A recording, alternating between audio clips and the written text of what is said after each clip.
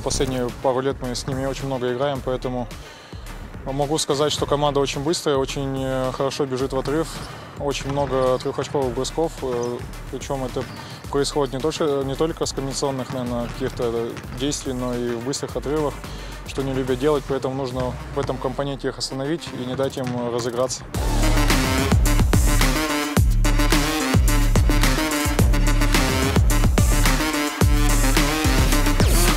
It's important that they came back, uh, the injured players. It's important that we are uh, working together.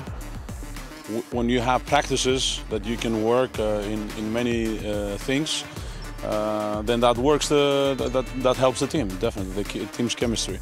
And um, it's important that this team breathes healthy and healthy in terms of uh, whoever is playing supports the other. We have a, significant roles and uh, concrete roles in the team, and everybody supports that. And uh, each and everyone who is being called to, to help is there for the team.